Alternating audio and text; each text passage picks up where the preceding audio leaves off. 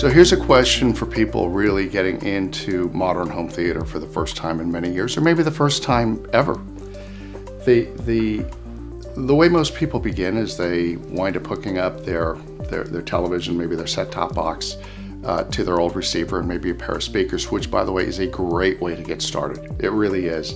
I'd so much rather see that, and we'll get into that in another video, but I'd so much rather see people repurpose and reutilize items they already have and start to connect with how good television sound can be uh, than, than sort of devolving all the way down to the lowest common denominator and just going straight for the sound bar. There's so much more potential when you start dealing with proper speakers and decent placement. Um, the next progression is to actually Dolby digital based systems.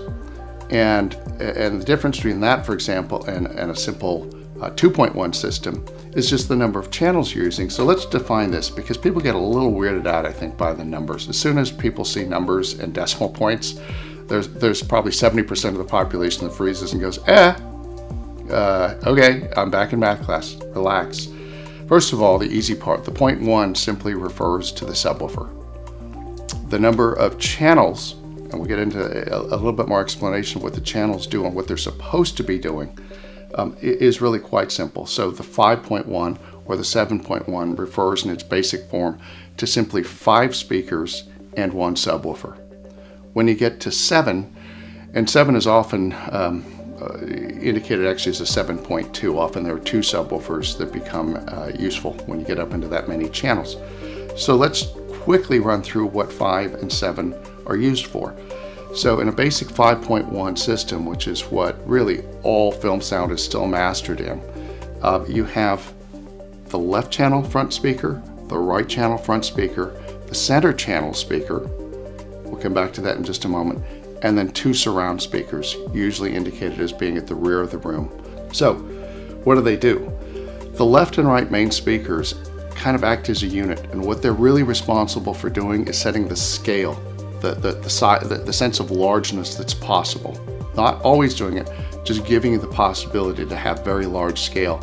So when the camera lens pulls back, for example, and you're looking at a huge cityscape or something like that, the sounds that actually get added back into the to the film soundtrack are there to convey that sense of vastness. Or if you pull back and you're in, in Wembley Stadium, for example, and the bad guy's running around with a sniper scope, you will hear Wembley Stadium, and that vastness, in part, begins with the left-right mains.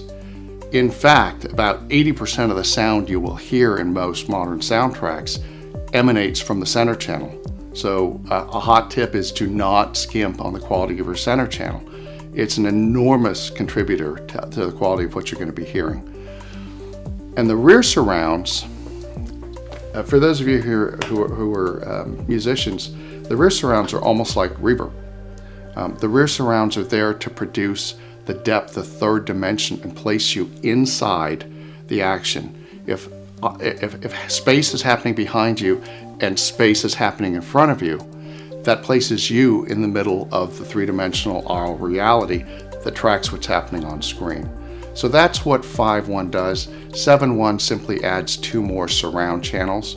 This can be useful in rooms that are really long, um, although a hot tip, um, you will actually get much better performance out of 5.1 and two additional surround speakers where you actually take, instead of having two speakers just back over here, um, actually moving two in a little bit and moving two further up and having all four of them act as just two channels.